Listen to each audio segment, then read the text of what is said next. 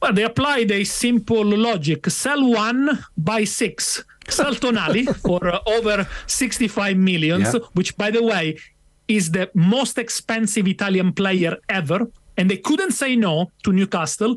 But then they were very smart in understanding what sort of players they needed, and they bought a little bit of both, a bit of experienced players, the like of Pulisic and the like of Loftus-Cheek, which, by the way, in the first two games have been Milan's best players. But I've also added young players and promising players, the like of Reijnders from AZ Alkmaar, one of the best midfielders in Europe last season, Chukwueze from Villarreal, Musah uh, from Valencia, Okafor. So if you look at it, they basically change completely the outlook of their midfield and strikers.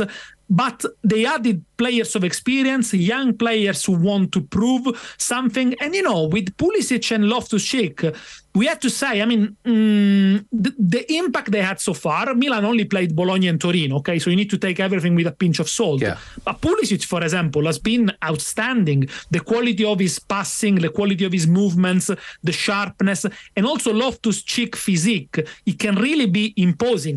When a player comes from Premier League and comes to Serie A, you can tell the difference. They are used to a different kind of football, a different rhythm.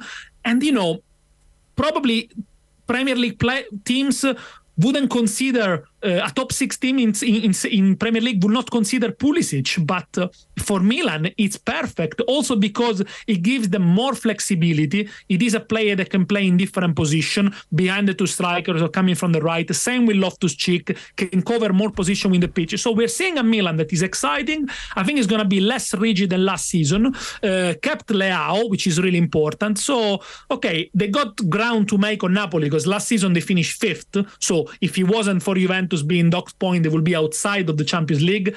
Defending the title wasn't really good for them. They didn't mm. do it very well, but you know they look they look interesting and they still follow their philosophy